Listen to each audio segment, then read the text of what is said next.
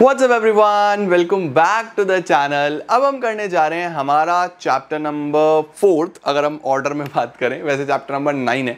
तो environment and sustainable development इस particular topic में कवर करेंगे। कल मैंने आपको दो इंडियन इको के चैप्टर्स कराए थे। आज सुबह एक कराया और एक आपके पास ये फोर्थ आ रहा है।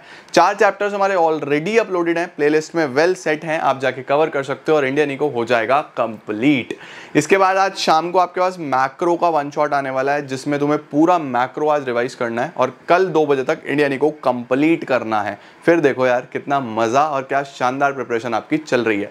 चलो जल्दी से शुरू करते हैं इस शानदार चैप्टर को और जल्दी से इसको करेंगे कंप्लीट। चलिए let's begin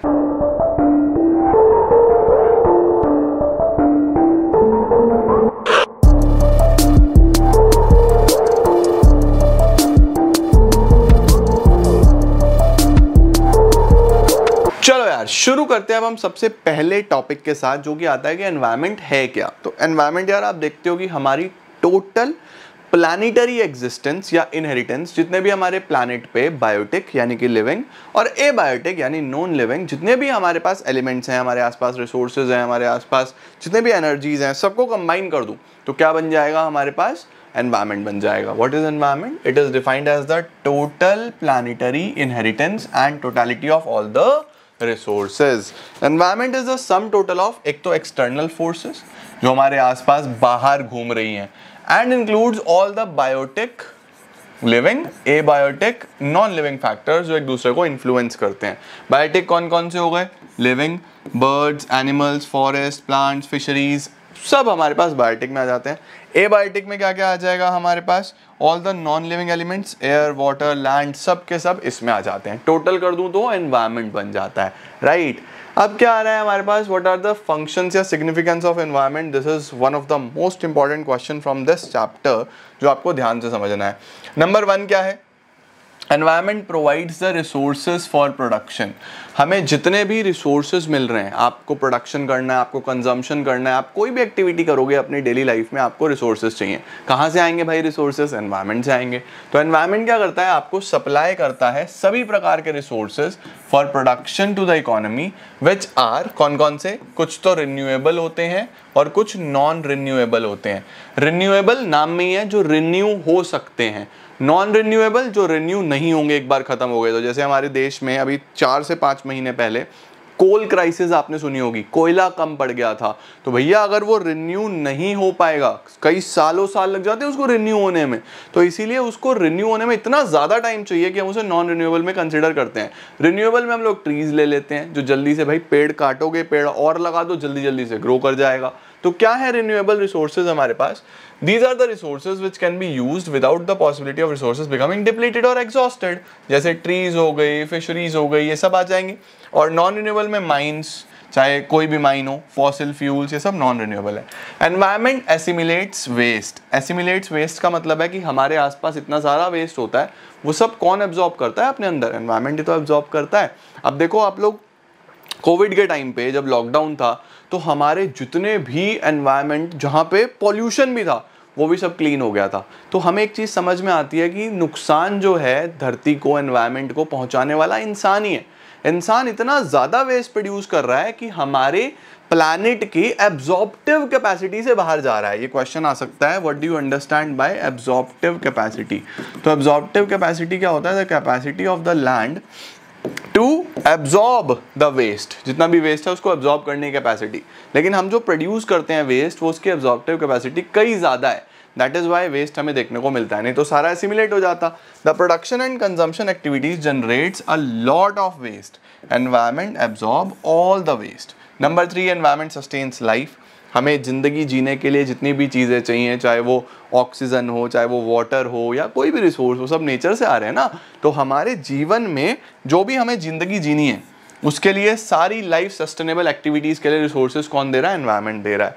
Basic necessities of life are part of environment environment sustains life by providing all the elements environment enhances the quality of life अब देखो, हमारे आसपास कितने सुंदर सुंदर रिवर्स हैं ओशंस हैं माउंटेन्स हैं बीचेस हैं। जब आप देखते हो तो आपको मज़ा आ जाता है। अच्छा फील करते हो ना ऐसी जगह पे जाके तो आपकी क्वालिटी ऑफ़ लाइफ कौन बेटर करता है? Environment right surroundings includes rivers oceans, mountains, deserts. Man enjoy these surroundings adding to the quality of their life.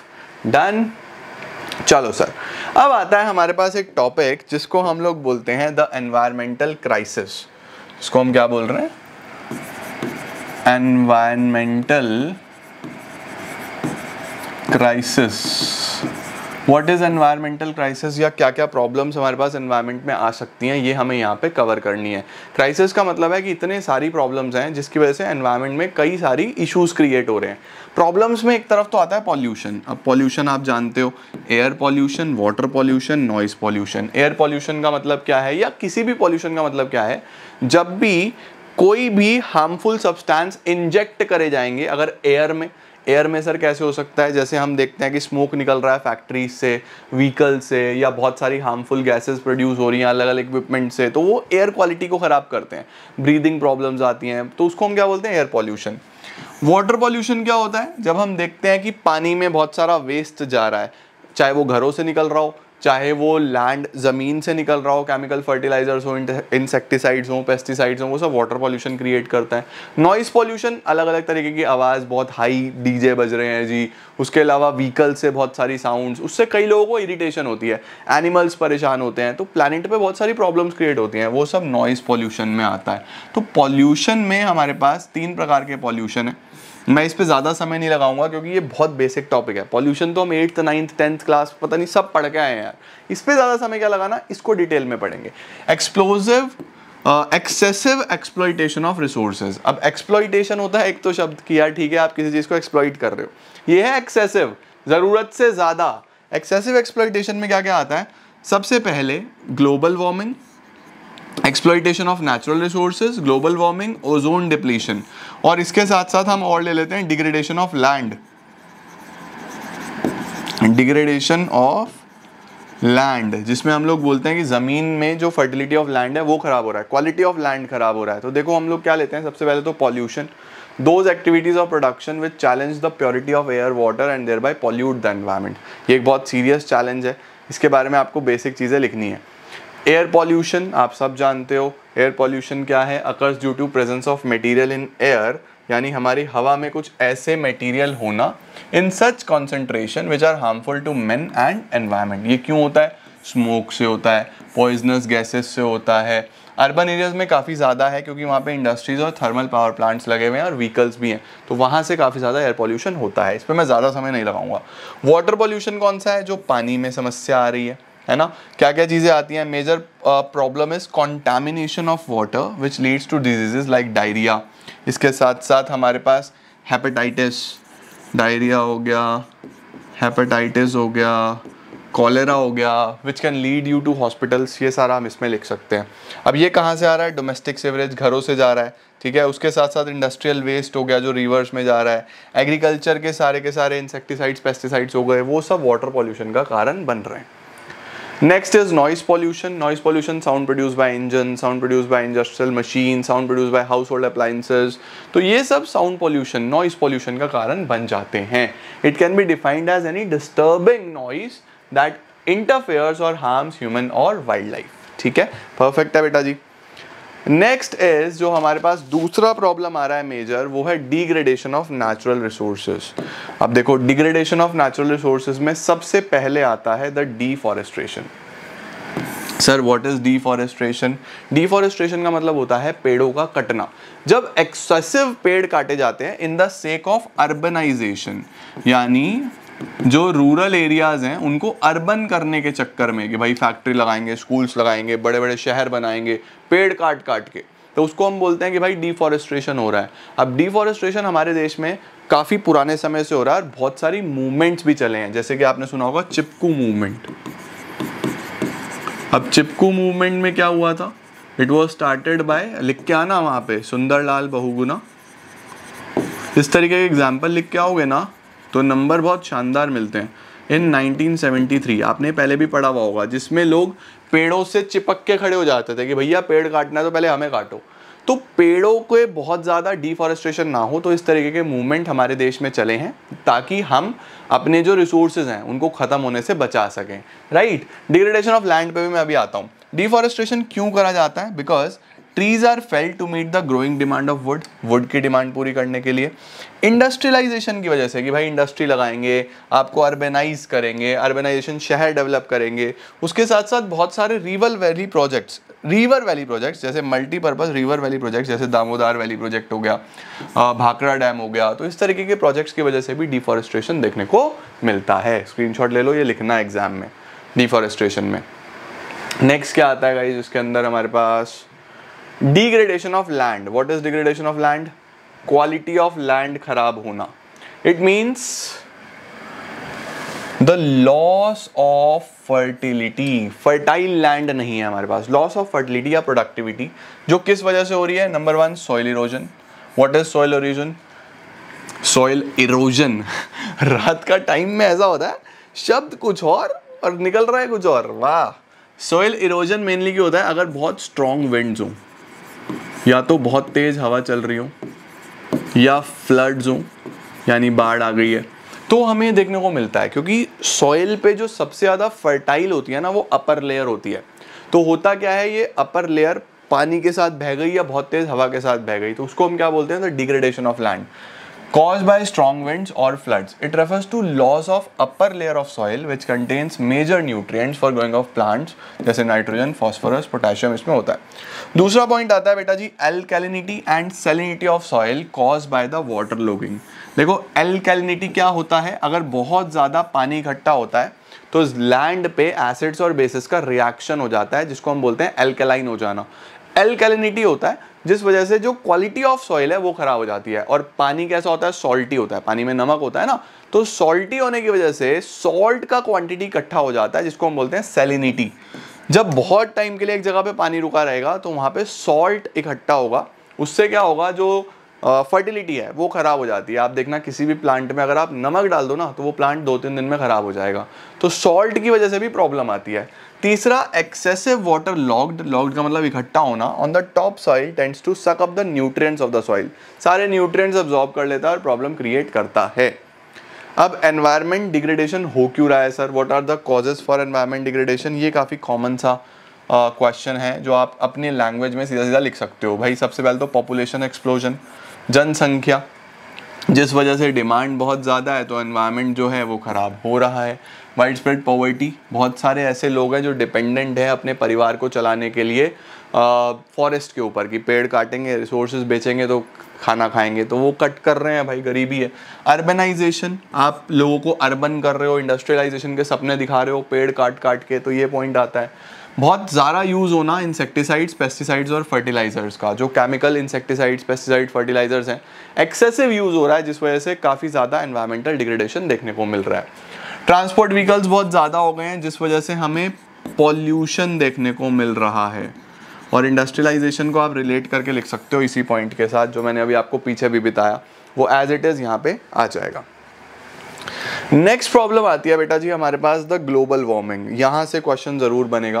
What is global warming global warming होता है जब एक्सेसिव हीट प्रोड्यूस हो रही हो किसी भी इकोनॉमी में, उसको हम क्या बोलते हैं? ग्लोबल वार्मिंग तो क्या है ग्लोबल वार्मिंग ग्लोबली गर्मी होना वार्म अप होना एनवायरमेंट का. Global warming is the observe and projected increase in the average temperature of earth atmosphere it is due to increase in greenhouse gas concentration जैसे water vapours carbon dioxide methane ozone जब ये सब इकट्ठे होते हैं ना तो क्या होगा? बहुत ज़्यादा हीटअप हो जाएगा और प्रॉब्लम क्रिएट होंगी। जैसे क्या क्या प्रॉब्लम्स होती हैं देखो। ग्लोबल वार्मिंग से क्या होने वाला है? आइस मेल्ट होगा, सबसे बड़ा प्रॉब्लम जो हमारा आइस है, वो मेल्ट हो रहा है। अर्थ के पोल्स के ऊपर, जो मेनली अर्थ के पोल्स पे आइस है ना, वो मेल्ट हो रहा है। उससे क्या हो रहा है? बाढ़ आ रही है भाई। आइस मेल्ट होगा, पानी आएगा। पानी आएगा तो वो कहीं ना कहीं तो जाएगा ना, है ना? It has lead to steep rise in sea level and coastal flooding number two hurricanes and other tropical storms बहुत सारे तूफ़ान जो हमें देखने को मिल रहे हैं ग्लोबल वार्मिंग की वजह से। उसके बाद बहुत सारी स्पीशीज़ हैं, चाहे एनिमल्स की हों, चाहे प्लांट्स की हों पॉलर बियर्स हैं जैसे, वो एक्सटिंक्ट हो रही हैं और बहुत ही कम मतलब ना के बराबर हो गई हैं, दिखने ही बंद हो गई हैं। ये था हमारे पास ग्लोबल वार्मिंग नेक्स्ट टॉपिक आता है ozone depletion sir what is ozone depletion ये आपने पढ़ा हुआ होगा। जब हमारे एक्चुअल में क्या होता है? हमारे अर्थ में, जिस तरीके से हमारे प्लानट पे जब आप देखते हो, बाहर से बहुत सारी अल्ट्रावायलेट रेज आती हैं यूवी रेज आती हैं तो वो यूवी रेज अंदर एंटर ना करे तो हमारे ऊपर एक लेयर है। वो लेयर हमें प्रोटेक्ट करती है कि वो रेज अंदर ना आए। उस लेयर को हम क्या बोलते हैं? ओजोन लेयर ठीक है? आपने सुना होगा, उस ओजोन लेयर में एक होल हो गया था। ड्यू टू पॉल्यूशन बहुत ज़्यादा पॉल्यूशन होने की वजह से, बहुत ज़्यादा ग्लोबल वार्मिंग होने की वजह से हीट होने की वजह से तो उसमें एक होल हो गया बहुत बड़ा। उसमें से बहुत सारी हार्मफुल रेज एंटर करती हैं, उन हार्मफुल रेज से बहुत सारी बीमारी होती हैं, जैसे स्किन कैंसर हो गया, इस तरीके की बीमारियाँ बहुत ज़्यादा होती हैं। तो ओजोन लेयर हमें बेसिकली प्रोटेक्ट करता है इस तरीके की हार्मफुल रेज से, ताकि ये एंटर ना करें हमारे एटमॉस्फेयर में और हमें परेशानी ना क्रिएट करें। बट हो क्या रहा है देखो, वो जो ओजोन लेयर है, वो डिप्लीट होती जा रही है। Ozone depletion refers to destruction of ozone in the ozone layer due to presence of अब क्यों हो रहा है? इसका जो मेजर कारण है, वो है chlorofluorocarbons chlorofluorocarbons and the other forces ozone depletion क्यों हो रहा है? What are the causes the problem of ozone depletion is caused by high level of chlorine and bromine compounds in the stratosphere. बहुत ज़्यादा क्लोरीन और bromine compounds बढ़ गए हैं। सर, ये कंपाउंड्स कहाँ से आ रहे हैं? ये कूलिंग सब्सटेंसेस में होते हैं। कूलिंग सब्सटेंसेस जैसे आपके एयर कंडीशनर्स हो गए रेफ्रिजरेटर्स हो गए, वहाँ से प्रोड्यूस होते हैं। C F C which is use as a cooling substances in A C and refrigerator. उसके बाद आपके एरोसोल प्रोपेलेंट्स हो गए या ब्रोमोफ्लोरोकार्बन हो गए, जो फायर एक्सटेंगिशर्स में यूज़ होते हैं, ये भी काफ़ी डेंजरस हैं। ओजोन डिप्लीशन में ये भी बहुत ज़्यादा रोल प्ले कर रहे हैं। ओजोन से क्या हो क्या रहा है? ओजोन डिप्लीशन से क्या हो रहा है? ज़्यादा यूवी रेडिएशन एंटर कर रही है अर्थ में और डैमेज पहुँचा रही है लिविंग ऑर्गेनिजम्स को। इससे क्या बीमारियाँ होती हैं, मैंने आपको बता दिया स्किन कैंसर हो रहा है और बहुत सारे हमारे जो टेरेस्ट्रियल प्लांट्स हैं, उन पर भी इम्पैक्ट आ रहा है। आओ जी। अब आ रहा है सर एनवायरनमेंट को कैसे बचाया जाए? अब एनवायरनमेंट को बचाने के लिए देखो, हमें सबसे पहले तो जनसंख्या नियंत्रण लाना होगा। सब जगह आप, मैंने पहले भी बोला आपको चैप्टर्स में, आप सब जगह लिख सकते हो कि we have to find measures to control population हमें पॉपुलेशन कंट्रोल करना होगा सबसे पहले तो। इसके अंदर सबसे पहले पॉपुलेशन कंट्रोल लिख दो। दूसरा पॉल्यूशन कंट्रोल करो। Control over industrial and agricultural pollution तो पॉपुलेशन कंट्रोल करो। पॉल्यूशन कंट्रोल करो, जो पेड़ कट रहे हैं तो पेड़ लगाओ। That is a forestation deforestation पेड़ कट रहे हैं एफॉरेस्ट्रेशन पेड़ लग रहे हैं। लोगों के अंदर जागरूकता पैदा करो कि लोग खुद से ही ऐसे काम ना करें, यानी कि सोशल अवेयरनेस जब कोई इंसान अपने आप कोई चीज़ करने लगता है ना तो आधी समस्या तो वैसे ही हल हो जाती है। तो सोशल अवेयरनेस चाहिए। वेस्ट मैनेजमेंट जो वेस्ट इधर उधर जा रहा है केमिकल फर्टिलाइजर्स पानी में जा रहे हैं, वो मैनेज करो। वेस्ट को प्रॉपरली डिस्पोज ऑफ़ करो, ताकि ये प्रॉब्लम्स ना आए। और सॉलिड वेस्ट को भी उसी तरीके से मैनेज करके चलना है। रीजंस में हमारे पास यही सारे कारण है, देखो आपको पता ही है पॉपुलेशन एक्सप्लोजन है, इसी को हमें कंट्रोल करना है। एक्सट्रैक्शन बहुत ज़्यादा हो रहा है रिन्यूएबल और नॉन रिन्यूएबल रिसोर्सेज का तो उस एक्सट्रैक्शन को हमें हमें ना सब्सटीट्यूट ढूँढने की ज़रूरत है। कि जैसे फॉर एग्जांपल हम एनर्जी की बात करते हैं तो पानी से बन रही है बिजली, है ना? तो पानी का बहुत ज़्यादा यूटिलाइजेशन हो रहा है तो हमें थोड़ा सा कन्वर्जन करना होगा उस पर्टिकुलर इलेक्ट्रिसिटी को कि पानी वाली हम ना यूज़ करके सोलर एनर्जी यूज़ करें। धीरे धीरे हाँ अभी एक्सपेंसिव है, अभी धीरे धीरे ग्रो कर रही है बट सोलर एनर्जी एक ऐसा सोर्स है जो फ्यूचरिस्टिक है, जो आपकी फ्यूचर जनरेशन को भी हेल्प करेगा। तो इस तरीके की चीज़ें हमें सोचनी होंगी। Intensive and extensive extraction of both renewable and non renewable resources exhausted some of the vital resources ठीक है? बहुत सारे रिसोर्सेज एक्सटिंक्ट होते जा रहे हैं। कंजम्पशन और प्रोडक्शन स्टैंडर्ड्स हमारे बहुत ही ज़्यादा एफ्लुएंट हैं। देखो क्या लिखा हुआ है? Due to affluent consumption production standards of the world the waste are generated बहुत सारे वेस्ट जनरेट हो रहे हैं, क्योंकि हमारे जो कंजम्पशन स्टैंडर्ड्स हैं, वो इस तरीके के बन गए हैं कि दुनिया भर का वेस्ट प्रोड्यूस होता है और हमारे को वेस्ट को डिस्पोज करना आता नहीं है। जो हमारा नेचर है, उसकी एब्जॉर्प्टिव कैपेसिटी से ज़्यादा है डिस्पोज ऑफ़ होता नहीं है तो हमारे देश में समस्याएँ बढ़ती जा रही हैं। एयर एंड वाटर पॉल्यूशन देखने को मिल रहा है, हमें बहुत ज़्यादा ग्लोबल वार्मिंग ओजोन डिप्रेशन हम ऑलरेडी पढ़ के आ चुके हैं। नेक्स्ट क्या आ रहा है बेटा जी? नेक्स्ट आ रहा है what is the state of India's environment ये हमें एक कॉमन क्वेश्चन है वैसे ही। देखो क्या लिखा हुआ है। Generally India is habitat of nearly 18 percent of the world population पूरे वर्ल्ड की 18 परसेंट जनसंख्या भारत में रहती है। Occupying just 2.5 percent of the world geographical area जबकि पूरे वर्ल्ड का जो जोग्राफिकल एरिया है, वो बहुत कम है हमारे पास।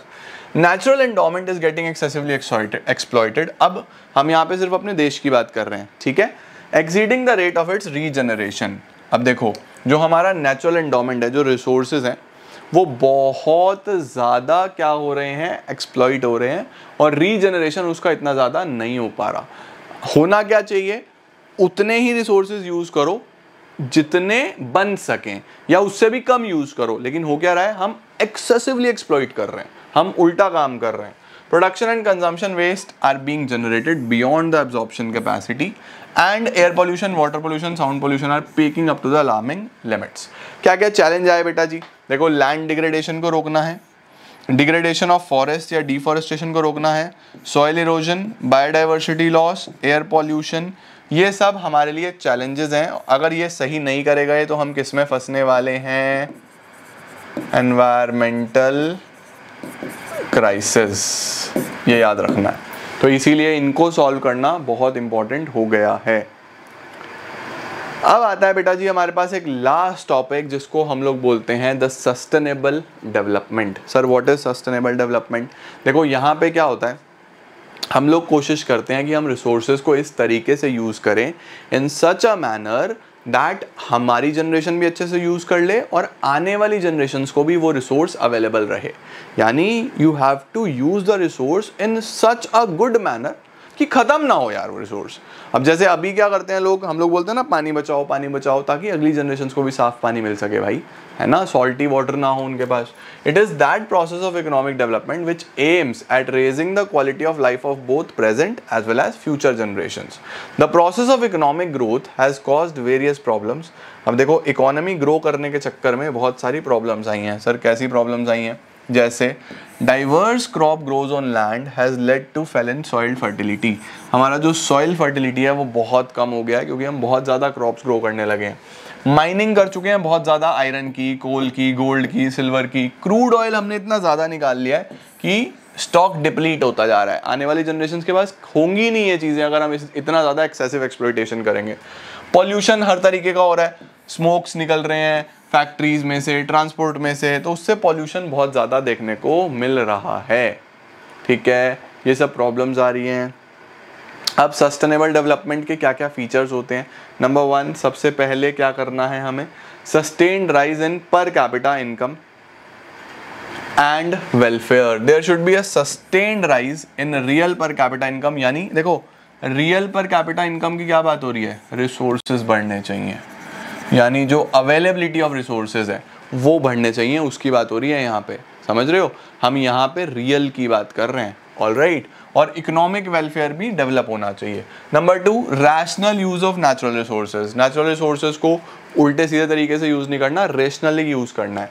Sustainable development doesn't mean that natural resources should not be use it simply means that natural resources भी रेशनली यूज़ तरीके से यूज़ करो। पॉल्यूशन कंट्रोल करो भैया। पॉल्यूशन की बहुत समस्या है, इसको कंट्रोल करने की ज़रूरत है, तभी हम सस्टेनेबली चल पाएँगे। Next is the strategies for sustainable development अब देखो क्या क्या स्ट्रैटेजीज हैं, जो हम सस्टेनेबल डेवलपमेंट कर पाएँ, जिसकी वजह से ये बहुत इंपॉर्टेंट है एग्ज़ाम में आ सकता है। What are the strategies number one the use of non conventional sources of energy non conventional sources of energy का क्या मतलब है? यानी हम पानी वाली एनर्जी ना यूज़ करते हुए वही सोलर एनर्जी को यूज़ करें विंड एनर्जी को यूज़ करें। इस तरीके की एनर्जी हम लोग यूज़ करें तो हमें एक बेटर एनवायरनमेंट और हमारे आने वाली जनरेशन के लिए भी रिसोर्सेज अवेलेबल रहेंगे। ठीक है जी? इसके बाद क्या आता है? The use of cleaner fuels cleaner fuels जो हम लोग देखते हैं कि पेट्रोल डीजल ना यूज़ करके हम लोग क्या यूज़ करें? जो हमें देखने को भी मिलते हैं एल सी इस तरीके के रिसोर्सेज क्लीनर फ्यूल्स यूज़ करें। आजकल तो आप देख रहे हो आप लोग की सब इलेक्ट्रॉनिक आ रहा है। है ना? तो क्या कर रहे हैं हम? क्लीनर फ्यूल्स की तरफ़ जा रहे हैं। Establishment of mini hydel plants इसका मतलब जो हमें बिजली बनाने वाले प्लांट्स लगाने हैं, वो छोटे छोटे स्मॉल प्लांट्स लगाने हैं ताकि बहुत ज़्यादा रिसोर्सेज ना यूज़ हो इसके अंदर। ठीक है? ट्रेडिशनल नॉलेज एंड प्रैक्टिसेस को यूज़ करना है। ट्रेडिशनल नॉलेज एंड प्रैक्टिसेस का मतलब कि वही हम अब ऑर्गेनिक फ़ार्मिंग की तरफ़ आएँगे। मतलब हमारी जो ट्रेडिशनल फ़ार्मिंग है वो करने वाले हैं। अब ऑर्गेनिक फ़ार्मिंग करेंगे तो हम क्या करने वाले हैं भैया? हम नेग्लेक्ट करने वाले हैं केमिकल फर्टिलाइजर्स को इंसेक्टिसाइड्स को पेस्टिसाइड्स को। तो क्या यूज़ करेंगे सर? बायो कंपोस्ट यूज़ करेंगे। बायो कंपोस्ट समझते हो? मतलब जो बहुत सारी पुरानी लीव्स वगैरह पड़ी होती हैं, वो ले लो। प्लस इसके अंदर एनिमल वेस्ट यानी काउ डंग वगैरह डाल दो। ठीक है? इसके साथ इसके अंदर वो इंसेक्ट्स वगैरह मिला देते हैं हम लोग, जिससे और अच्छे से वो नेचुरल फर्टिलाइजर्स डेवलप होते हैं। राइट कंट्रोल ऑफ़ बायोपेस्ट वही पेस्टिसाइड्स ना यूज़ करके नेचुरल रिसोर्सेज यूज़ करना, ठीक है? उसके बाद हम लोग बोल सकते हैं the change in unsustainable patterns of consumption यानी पैटर्न्स ऑफ़ कंजम्पशन हमें बदलने हैं जो अनसस्टेनेबल है, जैसे हम पब्लिक ट्रांसपोर्ट यूज़ करें ज़्यादा से ज़्यादा। हम अपने व्हीकल्स ना यूज़ करके the use of public transports वो काफ़ी ज़्यादा हेल्प करेगा हमारे रिसोर्सेज को सेव करने में। उसके साथ साथ हम क्या कर सकते हैं? ऑर्गेनिक फ़ार्मिंग मैंने आपको बता ही दिया। बायो कंपोस्ट बायोपेस्ट हो गए, हमें बायोपेस्ट कंट्रोल करना है बायो कंपोस्ट यूज़ करने हैं। उसके बाद मिनी हाइडल प्लांट्स हो गया। बस यही सारी चीज़ें होती हैं हमारे पास सस्टेनेबल डेवलपमेंट की, जिसको हम यूज़ करके आगे बढ़ा सकते हैं और एक सस्टेन्ड एक हेल्दी लाइफ जी सकते हैं। तो guys this was all about an easy chapter जो कि था हमारा क्या एनवायरमेंट एंड सस्टेनेबल डेवलपमेंट एक बार इसकी रीडिंग किताब से भी लगा लेना। वैसे तो पूरी इंडियन इको की रीडिंग आप लगा ही रहे होगे बट स्टिल अगर आपका रह रहा है तो एक बार रीडिंग लगा के चलो और चैप्टर आपका हो जाता है कंप्लीट आज के लिए इतना ही। Thank you so much everyone for watching I want see you all super soon till then take care bye bye